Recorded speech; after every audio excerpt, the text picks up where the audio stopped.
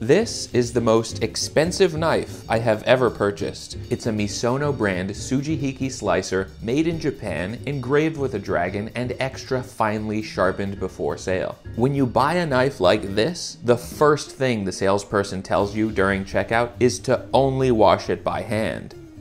But this is my new dishwasher, and it has this cool third rack up top that I've never seen before. Since this top top rack is as far as you can get from the water jets and detergent dispenser, and low profile enough to only allow for a couple horizontal items that won't bang into each other, I'm wondering if that means it could potentially be gentle enough to do the unthinkable to wash my knives in the dishwasher. So I bought this fancy blade and without even using it once, just so I could only see the effects of the dishwasher, I placed it on that top rack, set the dishwasher to its shortest, gentlest cycle, and ran it. You're not gonna believe this, but it came out still perfectly sharp. Look at that magazine paper slicing action. But it did suffer noticeable harm. The original idea for this video was to run it through the dishwasher at least a dozen times, but after just one run, the handle started to look all bleached out. You can see what it used to look like by the sticker that I peeled off afterwards. I even hung out on standby to open the appliance the second it finished its cycle so it wouldn't be sitting in steam for any longer than it needed to, but the metal was already visibly rusted. So yeah, it's still mighty sharp, but this blade has a significant amount of carbon in the metal, and for the same reasons you wouldn't place a carbon steel pan in the dishwasher, you wouldn't want to do it to a carbon-rich steel knife. Any viewers who collect precious knives saw this coming. You can't leave factory fresh steel wet for more than like 10 minutes without it starting to develop rust, so the inside of a dishwasher is far too hostile of an environment. The water is steaming hot, and that steam is hitting every nook of every surface of everything inside for hours at a time. Plus, dishwasher detergent is significantly harsher than dish soap. I thought best case scenario I could have made some earth-shattering expose about how it's totally fine to throw knives into the dishwasher, but it's not, and I was a fool for trying. The end. Until, of course, I tried it again. This has been the budget pick by tons of chefs throughout the years, the Victorinox chef's knife with Fibrox handle. I put this one through the top top rack dishwasher test and it performed much better. The blade is made of stainless steel, which is like 1% carbon, and the handle is made of plastic, so it's not gonna warp, wear, bleach, or crack the way a wood handle would. This knife was designed to withstand commercial grade food service, not to be remarkable on any merit other than value. I'm always happy to advise beginner cooks to stock up on tools at the restaurant supply store where everything is cheaper and more durable. So if you're the type to drive a Toyota and wear Kirkland signature clothing, you might be more interested in kitchen tools that can be ridden hard and put away wet. Idiomatically speaking, of course.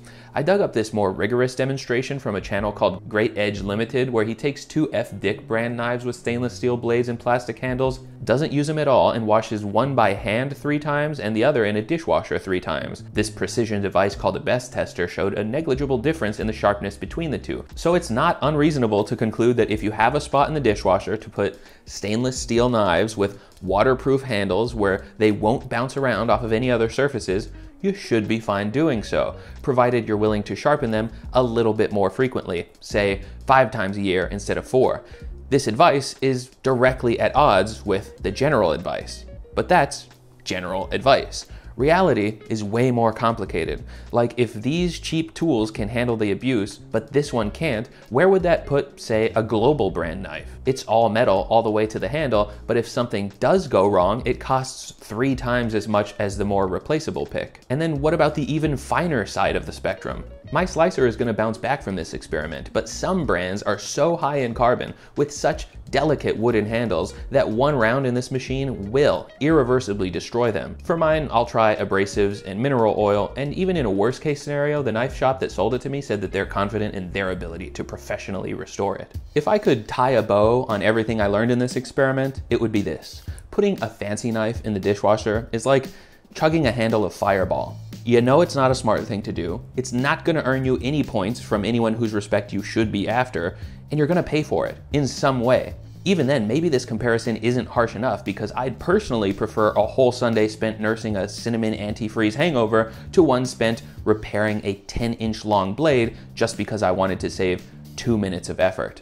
But putting a replaceable, waterproof, stainless steel knife in the dishwasher and drying it quickly is more like smoking a cigarette. It's not good by any means, but the sole act of doing it maybe a couple times in a given year isn't going to be a disaster. The real risk is that of making it into a regular habit, and that's a dark path full of wasted money and a shortened lifespan of the knife. This simile is over. The whole experience reminds me of my favorite half joking, half serious chapter of Rory Sutherland's Alchemy. If you want to have a kitchen that's full of nothing but dishwasher safe items, all you gotta do is simply put everything in the dishwasher every time. That way, whatever doesn't survive gets weeded out. The problem with this approach, obviously, is that if you make rules around what's allowed and what's prohibited based on narrow, inflexible parameters just because they make sense on paper, the real life consequences can be expensive, wasteful, and generally miserable. That reminds me, I gotta go file my taxes. Stay right there. Viski has paid to be mentioned at the end of this video. Viski makes high quality, contemporary glassware along with just about everything else you need to make fancy cocktails at home. Barware, wine tools, ice molds, everything but the actual alcohol. Personally, I've got my eye on this 2 ounce flask that holds a 54 gauge cigar in it.